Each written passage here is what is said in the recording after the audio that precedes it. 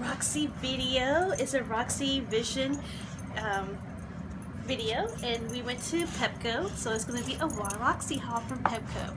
Um, you'll see it back here. She's really excited to play with it now so I'm going to go ahead and carry up.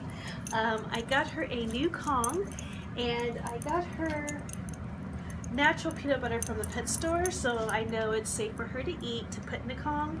This states that it's a extreme Kong so that way she's been chewing through these like crazy so hopefully this one works. Then um, she's been having a little bit of dandruff so we got this little um, aloe hydrating spray and it conditions her fur makes it all pretty and shiny. We'll use that on bath day. And also for bath day, we got a drain to catch all the hair when we give her a bath.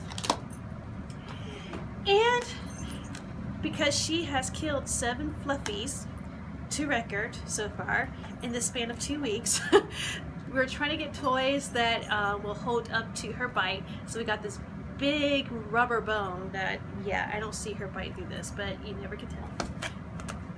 She needed some doggy shampoo, and um, this is oatmeal shampoo. It has the honey and coconut scent. So, bath day tomorrow. And the Nyla bones, which I bought two from her school. Um, they're very safe and durable, so I got her two more because she's chewing the heck out of those already. And I thought this was so cute. My fiance saw this. It's a big tire with a rope. Indestructible for Roxy. and we got her a new fluffy that squeaks. It's a, I don't know, porcupine, hedgehog? I don't know. It's one of those things. But a new fluffy that hopefully she can't defluff. And last but not least, milk bones are really good for her, um, for her teeth. And um, when she's a good girl, give them to her. and her Roxy. And um, some natural um, treats as well. That's um, a mixture of chicken, cheese, and um, some other flavors. It's like a mixed bag.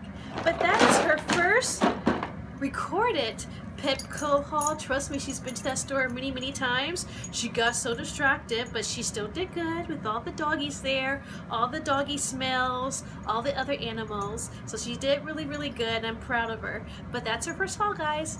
Bye!